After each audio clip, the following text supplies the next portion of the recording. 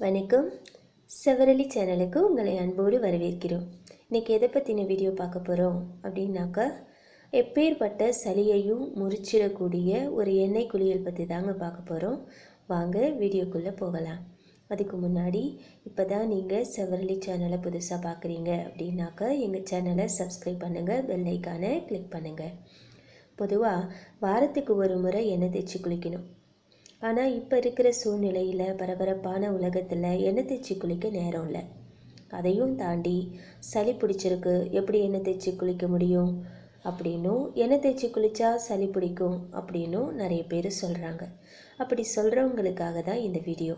இப்போ நான் சொல்ல போகிற முறையில் எண்ணெய் தேய்ச்சி குளிச்சிங்கன்னா எப்பேற்பட்ட சளியாக இருந்தாலும் அதை முறிச்சிடும். இப்படி எண்ணெய் தேய்ச்சி குளித்தா சளியும் பிடிக்காது. சளி பிடிச்சிருக்கவங்க தான் இப்படி தேய்ச்சி குளிக்கணுமா அப்படின்னு கேட்டால் கண்டிப்பாக இல்லைங்க. யார் வேணாலும் இந்த மாதிரி எண்ணெய் தேய்ச்சி குளிக்கலாம். அஞ்சு வயசுக்கு மேற்பட்ட குழந்தைகள்ல இருந்து பெரியவங்க வரைக்கும் யார் வேணாலும் இந்த மாதிரி எண்ணெய் தேய்ச்சி குளிக்கலாம். அதுக்கு ஒரு பாத்திரத்தை அடுப்பில் வச்சு அது சூடானதும் உங்கள் முடிக்கு தேவையான அளவு நல்லெண்ணெயை ஊற்றிக்கோங்க எண்ணெய் நல்லா காஞ்சதும் ஒரு ரெண்டு காஞ்ச மிளகாயை கிள்ளி அதில் போடுங்க.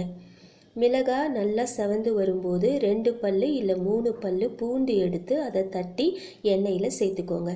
பிறகு சிறிதளவு முருங்கைக்கீரையை அதில் சேர்த்துக்கோங்க.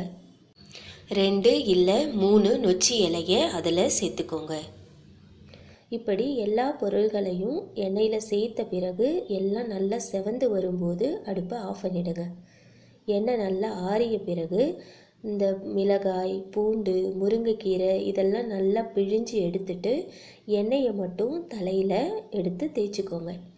தேய்க்கும்போது எண்ணெய் கண்ணில் படாமல் பார்த்து தேய்ங்க. ஏன்னா எண்ணெயில் மிளகாய் சேர்த்துருக்கோம்.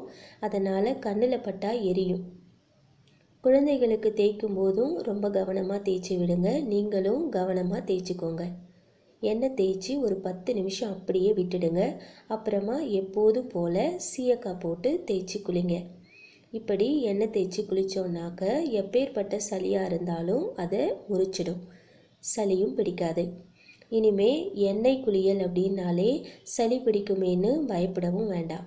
இதை நீங்கள் ட்ரை பண்ணி பாருங்கள் இந்த வீடியோ உங்களுக்கு பிடிச்சிருக்குன்னா லைக் பண்ணுங்கள் கமெண்ட் பண்ணுங்கள் ஷேர் பண்ணுங்கள் செவரலி சேனலை சப்ஸ்கிரைப் பண்ணுங்கள் பெல் ஐக்கானை கிளிக் பண்ணுங்கள் நன்றி வணக்கம்.